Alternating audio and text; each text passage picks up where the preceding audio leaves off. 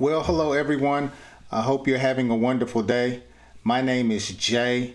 If this is your first time here, the purpose of my channel is to help you to speak better English.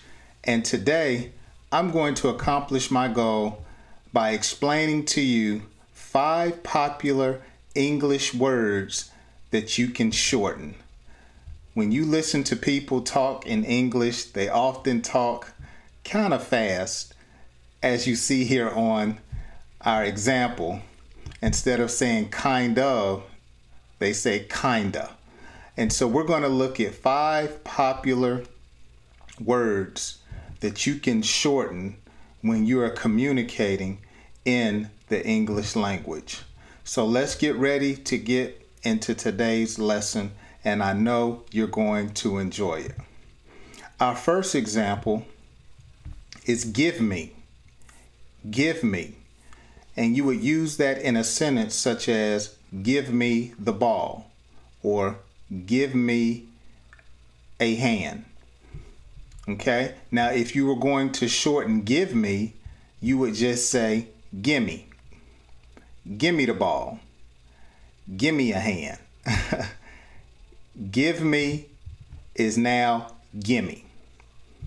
Let's go to our second example going to, going to. I'm going to tell. I'm going to tell. Now, if you were going to shorten going to, you would just say gonna. I'm gonna tell.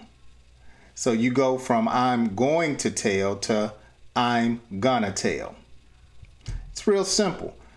If you practice, you'll get it. Let's go to our next example don't know. Don't know. And to use that in a sentence, you would say, I don't know. But to shorten don't know, you would say, don't know. I don't know. I don't know. Instead of I don't know, I don't know. Now, our next one is want to. Want to. Using that in a sentence, you would say, I want to go. I want to go. But if you were going to shorten want to, you would say wanna. I wanna go. I wanna go.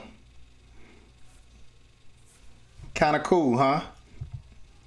And our last one for today, as it pertains to English words that we can shorten, is the one that we started with. Kind of. Kind of. It's kind of bad. Or the movie is kind of bad. Or his or her cooking is kind of bad. Putting kind of together, you would say kinda. It's kinda bad. The movie was kinda bad. His or her cooking is kinda bad. So kind of becomes kinda. if you would, leave me a comment and let me know how would you use one of these phrases or words in a sentence. Would you use kind of, want to, going to, kind of? Which, which one would you use and how would you use it in a sentence? If you have learned something today, I would hope I have earned a like. Please hit that like button. Share it with your friends this video, especially to friends that are trying to improve their English. And as always, if you're not a subscriber, hit that subscribe button and turn that notification bell on. And every time I upload a video, you will be notified, hopefully. you know how YouTube is. But I want to say thank you for taking time out of your busy schedule to watch today's lesson. I hope you join me on my next video. I hope you have a wonderful day. Please check out some of my other videos here on the channel to help you speak better English and may God bless you.